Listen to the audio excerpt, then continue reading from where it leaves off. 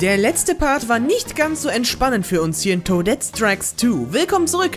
Ja gut, wir sind hier in Cockwheel Canyon oder im Cockwheel Canyon und betreten einfach mal direkt das nächste Level. Wie hieß es denn? Ah. Cockwheel Canyon, ja, ja, ja. Land of Machines. Ähm, Magnet Madness, okay. Magnete Verrücktheit oder, ja, Verrücktheit, wie kann man das übersetzen? Eigentlich ja schon so Chaos oder, ja, Madness. Ja doch, Verrücktheit. Eigentlich schon so, schon Verrücktheit, ja. Und wir können hier Magnete hochheben, okay? Das ist eine ganz interessante Sache. Wir wollen erstmal ein bisschen Platz schaffen. Ja doch, da, also da kann man auch einige gute Verstecke mit einbinden. Naja, solange es jetzt äh, keine weiteren Schalterpaläste gibt, die einfach mal so übelst übertrieben scheiße sind oder schwierig sind. Scheiße war der jetzt nicht unbedingt. Der war halt jetzt wirklich echt schwierig. Das muss man einfach mal von der Seite aus sehen. Man kann nicht immer alles sagen. Man kann nicht immer sagen, alles was scheiße, äh, was schwierig ist, ist scheiße. Das geht nicht, nee. Es gibt auch gute Sachen, die scheiße sind. Äh, andersrum? Ach, egal. ist jetzt unwichtig. Naja, eine neue Session hat begonnen und ich bin tatsächlich, ich kann das ja hier an der Stelle sagen, ich bin ein bisschen krank. Das habe ich auch schon in anderen Projekten gesagt. Aber ähm, ich möchte es auch nochmal hier sagen, es kann sein, dass die nächsten Parts, dass ich in einigen Parts jetzt so ein bisschen rumhusten werde oder ähm, ja allgemein Probleme mit meiner Stimme bekomme. Das ist in den letzten Tagen echt kacke gewesen. Oder das ist vor allem gestern so kacke gewesen, weil ich äh, das Finale von Mario und Luigi Superstar Saga aufgenommen habe. Und naja, es war nicht so unbedingt das äh, Spaßigste, ne? Also es war spaßig schon an sich, aber äh, es ist nicht das Spaßigste im Nachhinein dann wirklich mit diesen Problemen zu leben, ne? Das kennt man ja. Niemand will krank sein, vor allem nicht in den Ferien. Das ist äh, dann eigentlich das Schlimmste. Oh, hier ist der Checkpoint. Du, du, du. Du, du, du. Ja, aber Toadette kommt ja schon durch, ne? Toadette kommt auch ohne meine Hilfe hier schön durch, ne? Ah, ich glaube hier da einfach mal. Es gab hier eine ganz gemeine Sternmünze. Das war, ähm, Pilzmünze. Das weiß ich. Ich weiß, dass die sehr scheiße war. Okay, ich weiß halt echt nicht wo. Da, da, da, da, da. Wir müssen jetzt ein bisschen Konzentration walten lassen. Ich kopiere mal durch. Nee, nee, nee. Okay. Wir müssen jetzt einfach mal schauen, wo es weitergeht. Weil es gab auf jeden Fall eine sehr, sehr gemeine Sternmünze. Ach, die war gar nicht so gemein. Quatsch. Was laber ich da denn für einen Stuss? Das war vielleicht am Ende gemein, wo ich dann noch einmal in die Röhre muss, weil man hier ein bisschen zu weit fliegt. Wir müssen im Grunde ja hier nur durch die eine Röhre. Mehr ist das nicht. So, dann werfen wir das Ding hier ab und landen in der Röhre. Und hoffentlich äh, bleiben wir auch gesund. Ja, das ist eine einfache Sch äh, Pilzmünze. Die, die wird man sehen. Wenn man nicht so ganz darauf fixiert ist, jetzt hier ähm, ohne Schaden durchzukommen. Ist das Ding... Ah, ist nicht kaputt gegangen. dann wird man das auch schaffen. Also es sind ja die ganzen Fuzzies da, äh, die ganzen Amps. Und wenn man den ausweicht, wenn man konzentriert bei den, wenn man sich bei denen konzentriert, ne, äh, dann kann es sein, dass man die Röhre übersieht. Aber die, aber die ist eigentlich so offensichtlich. Mir ist es beim ersten Durchspielen eigentlich auch nur ganz, äh, oh, scheiße. Überraschend gelungen. Okay, wir werden hochgesäppt. Und hier ist das Ende des Levels, okay. Das war interessant, das war auch ganz nett. Es gibt ja einige nette Mechaniken in, dem, in dieser ganzen Welt, von daher kann ich das eigentlich nur gutheißen. Nur hätte ich jetzt gerne doch lieber so einen Pilz, äh, damit wir uns komplett heilen können. Wo sind wir denn jetzt?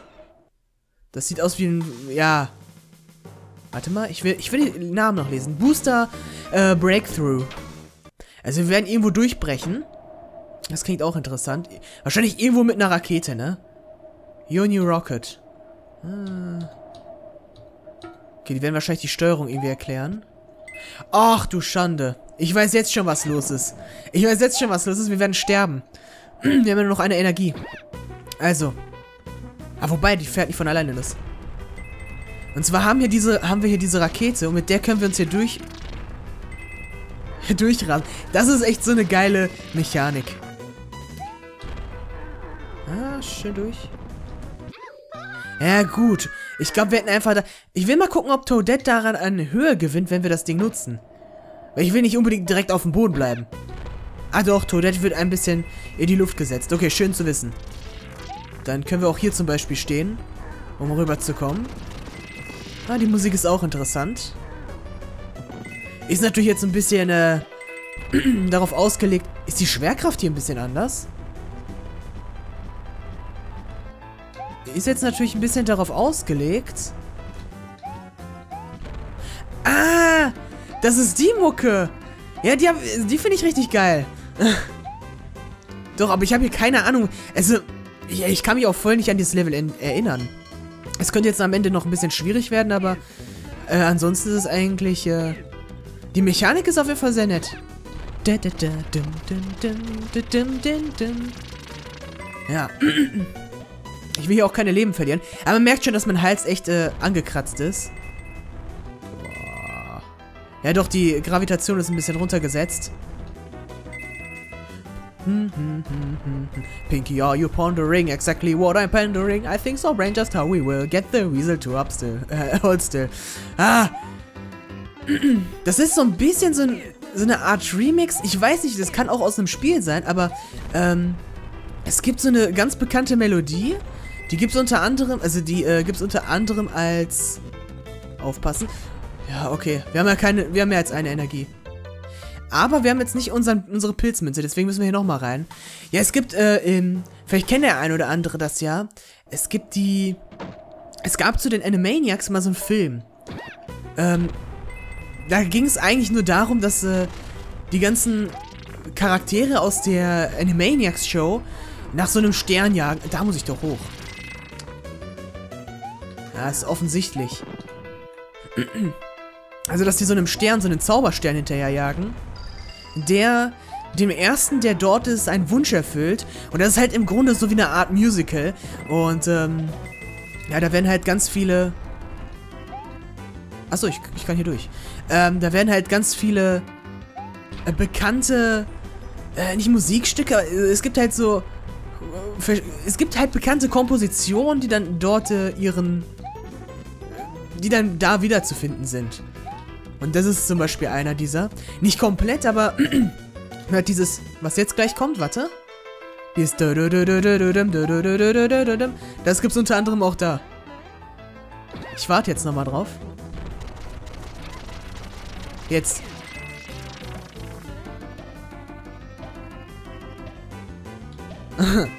ja, doch, das ist das.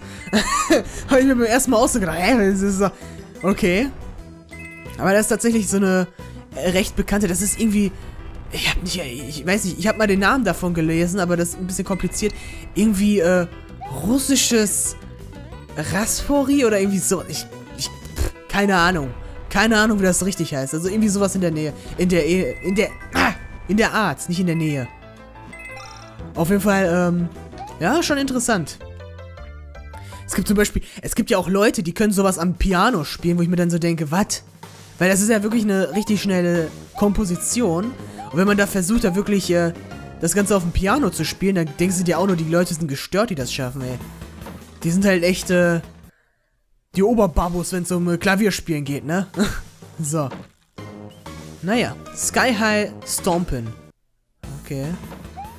Das wird auch spaßig, da kann ich mir vorstellen. Das habe ich doch mal irgendwo gesehen. Ist das nicht, sind das nicht Texturen aus äh, diesem, ähm, was äh, hier LP Markus mal gespielt hat, dieses äh, Chanté. Ich glaube, da gab es auch sowas. Ich glaube, das sind sogar dieselben Texte und ich bin mir dabei recht unsicher. Kann durchaus sein. Vielleicht ist es auch durch, von einem anderen Level gemacht. Ähm, oder aus einer, vielleicht aus Mega Man, das kann ja auch sein. Das sieht auch so Mechaniker, mechanisch aus. So, würde ich mir eigentlich auch noch vorstellen können. La la la la la la la. Ja, aber Toadette kommt hier schon recht gut durch. Ja, ich mag die Musik einfach, dieses, äh, dieses russische Rasfori oder wie das immer heißt. Ich nenne das jetzt russisches Rasfori. russisches Rasfori. Äh. Oh, oh, oh. Irgendwo hier wird die Pilzmünze sein, da bin ich mir sicher. Ich glaube, die habe ich jetzt schon verkackt. Okay, einmal hier gegen. Wir müssen ab und zu mal wirklich auf die Pilzmünzen achten, weil das ist, äh, tatsächlich nicht so einfach, wie man sich das am Anfang vorstellt. Ach ja, Mario Kart äh, DS haben wir auch gespielt. Ich habe vor, irgendwann mal Mario Kart äh, Double Dash zu machen. Ach, da muss ich mich auch nochmal korrigieren. Ich habe ja mal gesagt, hier Toadette kommt das erste Mal... Aber oben konnte ich jetzt nicht lang, ne? Äh, Toadette kam das erste Mal in äh, Mario Party 6 vor, was äh, nicht stimmt, weil ich bin jetzt davon ausgegangen, dass Mario Kart Double Dash äh, nach Mario Kart... Okay, das ist der falsche Weg. Äh, dass, nach, dass Mario Party 6 vor Double Dash kam. Da war ich mir ein bisschen unsicher. Ist ein... Ah, okay, hier ist der Boss. Ja, doch, da war das Ding. Ich kann auch nicht in den Leveln einfach so wechseln. Na gut, dann machen wir einmal den Boss. Ich hoffe, der wird nicht so stark sein. Äh... Entschuldigen Sie, ähm... Achso, der muss einmal drauf stampfen. Wow. Da macht der noch eine Shockwave. Das ist gemein, das ist gemein, das ist richtig, richtig, richtig scheiße. Das ist nicht toll, das ist kacke, wenn der mit seinen Flammen ankommt. Das ist so dreckig, ja, das ist kacke, kacke, kacke, kacke, richtig scheiße. Ha, ich sollte ein Lyrics-Lied davon machen, wie Brentelfloss. Na, na, na, na, na. La la la la la la la la la da da. Aber das ist auch geil, ey. Die Mucke ist voll geil. Da da da da da da da da. Da da da da da. Da da da da da da da da da da da Oh. Ja, okay, der Kampf wäre danach nicht zu Ende. Ja, da, da bin ich eigentlich auch schon von ausgegangen. Der hat ja auch eine Bossleiste, von daher wird man das eigentlich auch daran erkennen können. Der springt nur zweimal rum und dann macht er hier den... Nein! Macht er nicht! Jetzt macht er es. Okay, nach drei Stampfern fängt er mit dem an.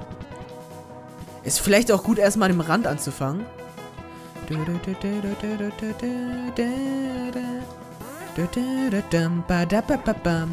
Du fällst auf die Fress. Du wirst verlieren, ja, ja. Du wirst sterben, du dummer kleiner Goomba. Ja, leider fällt er auch nicht in die Stacheln rein. Er macht er nicht automatisch. Barababa, Gumba ist schon bald tot. Der kleine Wicht, der schafft es nicht, dieser dumme, dumme, dumme Gumba. Toadette ist besser, der Goomba überlebt es nicht. Du wirst gleich sterben, Goopa, nicht Goopa, sondern Goomba. Ja, ich heiße dich jetzt... Ach, egal. jetzt gehen mir die Reime aus. Okay, Reim, gereimt habe ich wahrscheinlich gar nicht mal. Es gibt Leute, die können dabei reimen. Könnt ihr euch das vorstellen?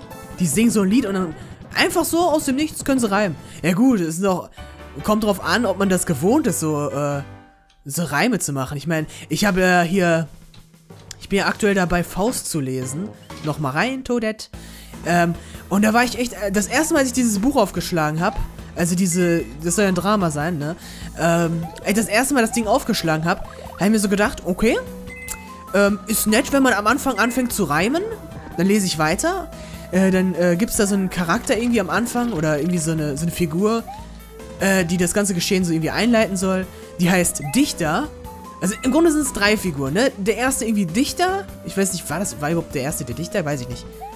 Der erste war irgendwie dieser, dieser, dieser, dieser, dieser keine Ahnung, Showmaster, irgendwie sowas. Ja, ist halt der Anfang, den liest, den liest man sich nicht 20 Mal durch, ne? Allgemein würde ich mir es nur einmal durchlesen, von daher... Was soll's? Ich mache mir keine mehr Mühe. Hä? Ja, aber wo soll das Ding denn sein? Ich kann mir beim besten Willen jetzt nicht vorstellen, wo die...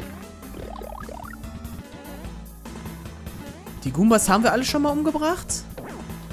Hier oben könnte ich mir halt vorstellen, dass da was ist. Irgendwo was in, einem, in so einer Kiste, in so einer Ach, guck mal, was ist denn hier? Was ist denn hier drin? Ah, okay. Okay, das war relativ offensichtlich. Da war ich ein bisschen dumm. Ja, auf jeden Fall war ich da erschrocken, dass äh, die Charaktere dann plötzlich anfangen zu reimen. Okay. Da fangen die plötzlich an zu reimen und ich denke mir so, was? Wieso? Wieso fangen die denn plötzlich alle an zu reimen? Ich meine, klar, der, der, dass der Dichter reimt, das ist klar. Äh, dass der Showmaster reimt, ist äh, gut. Der ist jetzt nicht äh, typisch für einen Showmaster. Ich dachte, das wäre so eine Art... Es ist ja im Grunde ein Stilmittel, aber ich denke mir so... Ja, das macht er, weil er, weil er so eine Persönlichkeit hat. Wie so, wie so im Grunde, ne? Nur, ähm... Äh, letzten Endes, da, da reimt einfach jeder in diesem scheiß Buch. Und dann denke ich mir so... Ey, ich, ich halte das immer nicht mehr aus, ne? Das ist richtig schlimm. Okay. Weil die dann plötzlich alle anfangen zu reimen. Selbst die Hauptperson, ne? Faust, irgendwie dieser Doktor. Äh, der reimt dann plötzlich auch. Keine Ahnung, warum ein Doktor reimen muss. Klar, ich denke mal, Goethe, ähm... Hat er nicht auch Gedichte geschrieben? Ach, ich... Vergessen wir es einfach, okay? ich denke mal, das wäre auch eine Möglichkeit. Ich könnte es mir vorstellen, wenn er schon die ganze Zeit reimt. Auf jeden Fall, äh... Ja. Man kann es ja auch übertreiben, ne? Einmal hier rauf? Ah, schade. Nee, aber das äh, hätte jetzt echt nicht sein müssen. So, dann kommst du hier runter. Dann wollen wir einmal deinen kleinen Stiefel haben. Oh, der... Ah, scheiße, ich habe die Shockwave vergessen. Jetzt springt er ja nur noch so dämlich rum. Wir können im Grunde immer so ein bisschen hin und her springen. Oh, Toadette, bitte, bitte, bitte, Toadette. Du bist süß, du musst es schaffen. Wenn du nicht überlebst, sie war die Süße. Sie war die unsagbar Süße. ah, das war auch so eine Stelle aus äh, diesem Animaniacs-Film. So. Boah, hier gibt es aber unglaublich viele Level, ne? Muss ich gerade feststellen. Wir machen noch ein Level. Ich habe jetzt auch nicht mehr so viel Zeit. Ähm, hier hinten gab es noch ein Level. Da gab es noch recht interessantes, genau. Ähm, ich will aber trotzdem mal den, den Titel lesen, ne? Das, das will ich ja wenigstens noch machen. Das ist Strange Space. Strange Space. Okay. Und dieses Level hat eine Besonderheit, nämlich können wir so hoch springen, wie wir wollen, solange wir die Sprungtaste gedrückt halten. Welcome, Earthling, to the Space Simulation Sens uh, Sensitization Station. Phew. Did you get those words in order? Um, our space olog ologists, ornomists, ornomers, space scientists have uh, been hurt at uh, have been hard at work creating this virtual reality. Your jumps here at last. Uh, your ah, your jumps here at last as long as you hold your jump button. Uh, den kann ich auf wie Mojojojo sprechen, weil das ein Affe ist. Uh, just like uh, in uh, actual space, maybe. Have fun and uh, be, be wary of uh, monster um, aliens. Also wir sollen auf Aliens aufpassen. Oder Monster, je nachdem. Ja, der hat... Äh, ich weiß nicht mehr, wie der, wie der sich im Deutschen angehört hat, ne? Das ist ja schon ewig her, die Powerpuff Girls. Aber, ähm... Im, ich habe den letztens nochmal so im Englischen gesehen und da hat er einfach so eine, so japanische, so eine japanische Stimme, also so einen japanischen Akzent. Finde ich unglaublich geil. Unglaublich geil. Allgemein. Allgemein so, so Synchronsprecher, ne, die können da schon echt äh, geniale Stimmen rausholen. Aber dass man dann so, so einen japanischen Killeraffen oder also, Japaner sind halt auch einfach so verrückt, ne? Die würden halt so, so einen Affen machen, der einen offenen, offenen Kopf hat oder so. Ja, das würden sie, glaube ich, ja schon irgendwie in eine Serie einbringen. Das wäre möglich. Ja, die, die schicke ich jetzt mal in die Richtung. Und erstmal daneben natürlich. Ja, wie ich das denn jetzt geschafft? Durch die Explosion, ne? Wir kriegen hier tatsächlich schon Yoshi. Okay. Wir müssen natürlich auch hier wieder auf unsere Dingens achten. Auf unseres Dingens. Ne, der Flattersprung, der zählt halt auch nicht mehr als Sprung, ne? Dann fallen wir wieder. Dum dum, dum dum, dum dum, dum dum, dum dum. Immer schön gedrückt halten, jetzt fallen lassen. Alter. Hätte auch ins Auge gehen können. So, wir gehen eine Ebene weiter. Ich glaube, hier gibt es jetzt den, die Pilzmünze, ne? Habe ich irgendwie so eine Erinnerung.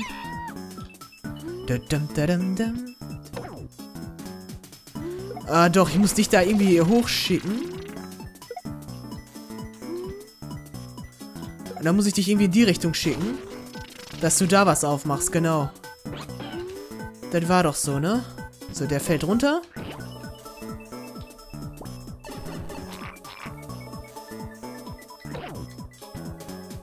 Hier, hier geht's zur Pilzmünze, das weiß ich doch noch ganz genau. Das war diese Drecksstelle die jetzt gar nicht mehr so dreckig ist, weil ich das Spiel kann. ah. Hau ab. Goomba, wir wollen dich nicht. Und der Panzer ist dafür da, dass wir wieder zurückkommen. Also da hatte ich auch schon mal mehr Probleme bei. Checkpoint haben wir. Im Todesfall sollten wir noch einmal dieses, diesen Abschnitt machen. Hier gibt es auch einen Boss. Hier gibt es auch einen Boss, das weiß ich noch. Machen wir mal schnell, ne? Machen wir ganz locker flockig hier in dem Part. Stirb. Ich bin jetzt nicht der Fan von Ninjas oder Fuzzies. Ach, Toadette, nein!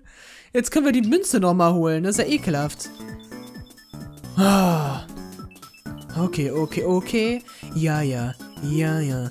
Okay, okay, okay. Ja, ja. Ja, ja. Ja, ja. Okay, okay. Ja, ja. Ja, ja. Ja, ja. Okay, okay. Und das ist das Problem jetzt bei der Sache. Den Goomba hier lang zu kicken, ist äh, unglaublich schwer. Und noch schlimmer ist es, den in der Luft beizubehalten. Oder ein Galumba, das ist ja eigentlich ein Galumba. Das darf man ja nicht, den darf man ja nicht Goomba nennen, weil das wäre für ihn ja direkt mal wieder eine Beleidigung. Und dann könnte er uns ja anklagen.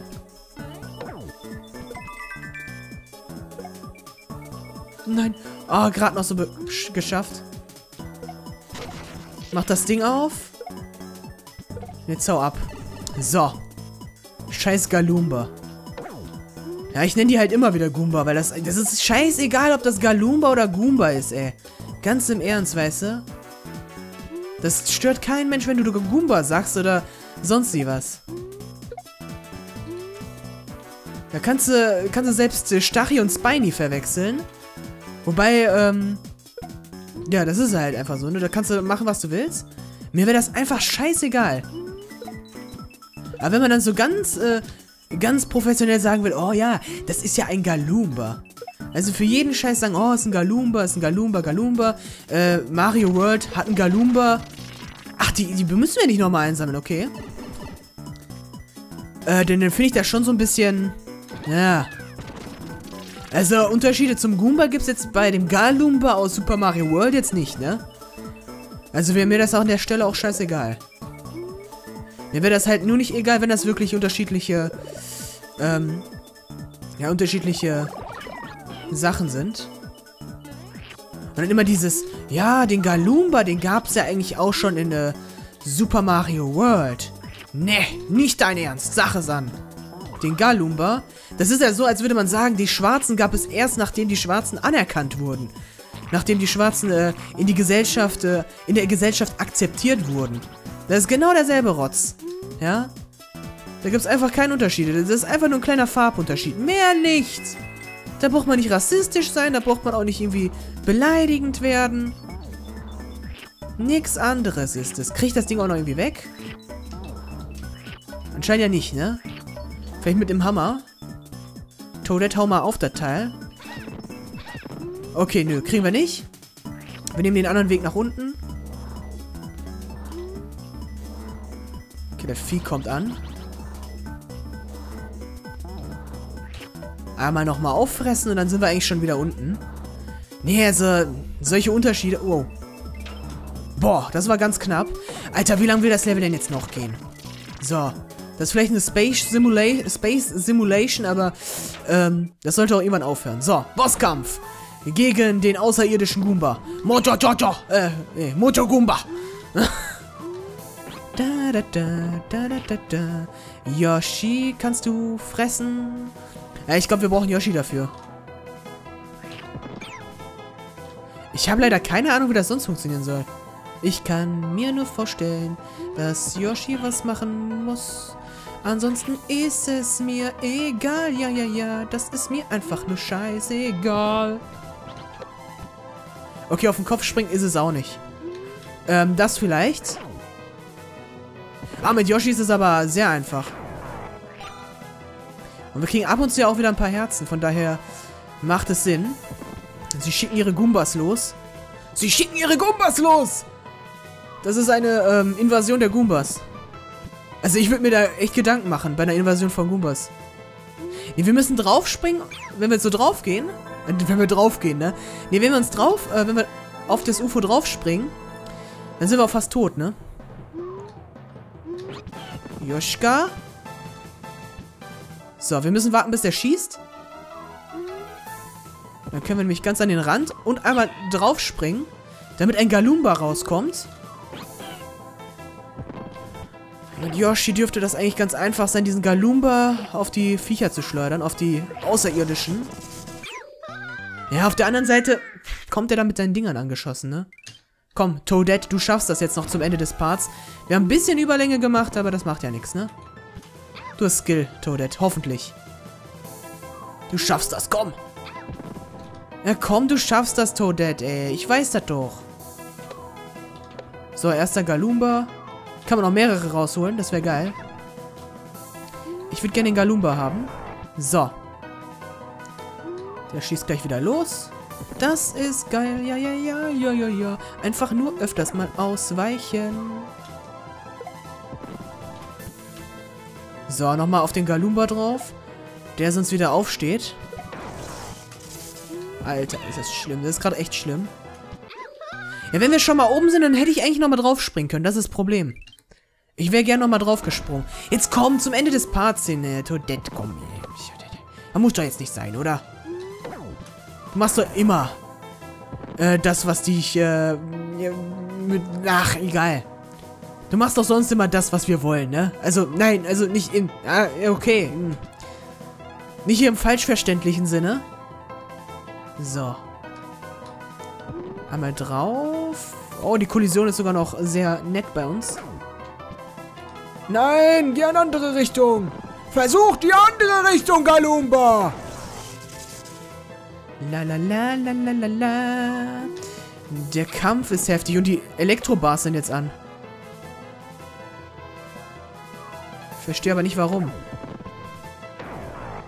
Okay, getroffen. Das war ein Treffer, ja, das war ein super, das war ein richtig ah, guter Treffer. So, wo ist der Galumba hin? Hallo, ich hab den doch getroffen, ey. Da will ich auch einen Galumba sehen, wenn ich den schon treffe. Oh, aufpassen. Ich frage mich, was passiert, wenn er sich treffen lässt. Unser Herr Galumba. So, das war's. Das war dein letztes Stündchen, du Galumba. Ach, die Galumpas kommen ursprünglich aus dem Weltall. Deswegen. Ah, okay. Ja gut, haben wir heute mal eine richtig lange Session gehabt. Mit richtig vielen Leveln im Grunde. Halt's Maul, Affe! Wir sehen uns im nächsten Part wieder, okay? Tschüss und bye bye.